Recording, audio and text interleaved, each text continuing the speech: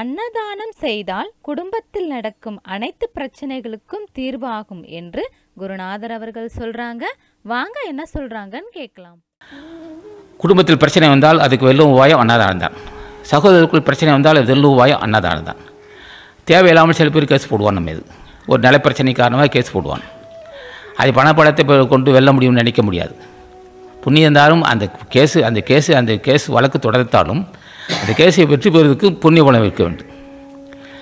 அப்போ புண்ணிய பலம் இருக்க மக்கள் தான் எதையும் வெல்ல முடியும் ஆற்றல் புண்ணியம் இருக்க முடியும். அதுக்கான ஜீவகாரண ஒழுக்கத்தை ராமலிங்க சாமி கொடுத்தார். ஜீவகாரணியத்தை கடைபிடித்தால் தான் ஒரு ஞானியாக முடியும். ஜீவகாரணத்தை கடைபிடிக்கும் போது தான் ஒரு மரணமில்லா பெருவாள் பெறுவான். அப்போ ஜீவகாரணியம் என்பதுனா பசி பசியாற்றுவிப்பதற்கு பசி ஆற்றுவிப்பதற்கு எண்ணம் உள்ளவன் நிச்சயமாக கடவுள் தன்மை அடைவான். பசி ஆற்றக்கூடிய எண்ணம் உள்ளவனுக்கு முன் செய்த பாவங்கள் தீரும். அதுக்கு யார் உதவி வேண்டும்? இப்போ குடும்பத் தலைவன் நினைக்கிறான். பத்து பேர் அன்னதானம் செய்ய நினைக்கிறான்.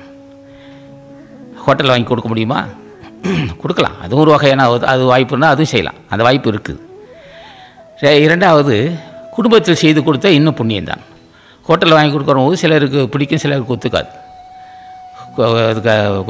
ஹோட்டலில் சில பேர் சாப்பிட்டு தொடர்ந்து சாப்பிட்டா உடம்புக்கு நோய் வரும். சரி, அது ஒரு அது சிலருக்கு ஒத்துக்கும் சிலருக்கு ஒத்துக்காது. குடும்பத்தில்னா அப்போ என்ன மனைவி என்ன சோ- சமைச்சு கொடுப்பா கொண்டு ஏழைகள் கொடுக்கலாம். அப்போ ஒரு குடும்ப தலைவன் புண்ணியவனாகிறதுக்கு துணையாக இருப்பதும் மனைவி தான் இப்போ செய்ய துணையாக இருக்க மனைவி ஒருவனுக்கு அமையா பெற்றால் அவனே புண்ணியவான். அது மாதிரி பெண்களாக இருந்தால் அவர் அந்த பெண்களுடைய பாதத்தின் சோ சிறமையை தூமைப்பேன். அப்போ அன்னதான சிவருக்கு துணையாக இருக்கிற அவன் மனைவி? நீ புண்ணியவான். நீ சாதாரண மனிதன் இல்லை புண்ணியவான்.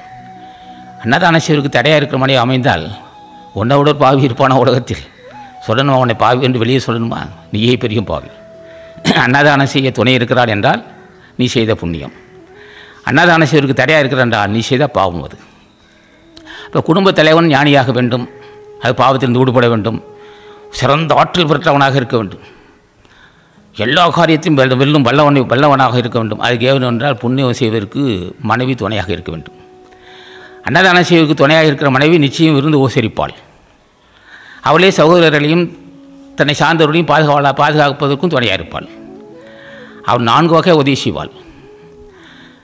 மனைவி புண்ணிய செய்த மக்களுக்கு தனக்கு தேவையான சமயத்தில் எந்த உணவு கணவன் விரும்பி சாப்பிட சாப்பிடுவான் என்பது அவனுக்கு தெரியும். அதை சமைத்து கொடுப்பாள். பசித்த நேரத்துக்கு உணவு தருவாள். பசித்த நேரத்துக்கு உணவு தருவதால் அவள் தெய்வமாக மாறுவாள். காமத்தை தணிப்பதால் அவன் மனைவியாக இருப்பாள். விருந்து ஓசை இருப்பதற்கும் அன்னதானம் செய்வதற்கு துணை இருந்தால் அவள் தெய்வமாக மாறுவான் ஆக இந்த நான்கு வாய்ப்பு பெற்றவன் மனிதன் நல்ல தெய்வமாக அதுபோன்ற பெண்கள் இருந்தால் அந்த பெண்களை பார்த்து நான் கை கைகூப்பி வணங்குவேன் அவள் பாதத்தை வணங்கி ஆசி பெறுவேன்.